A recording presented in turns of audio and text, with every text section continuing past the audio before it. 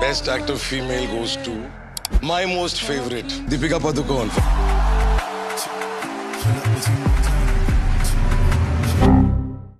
you know, I keep saying this to people that life is happening while you're also building your career, and you can't forget that.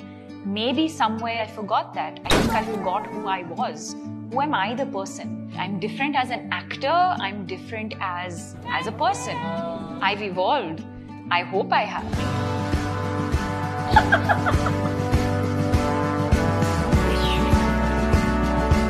I think if you're able to shift the needle, if you're able to impact people's lives in a positive way, if you're able to uh, bring about change, if you're able to have people just sort of think differently or see differently, um, I think today that for me is success. You know what I mean. Like, this is my territory, man. I mean, this is what I do for a living.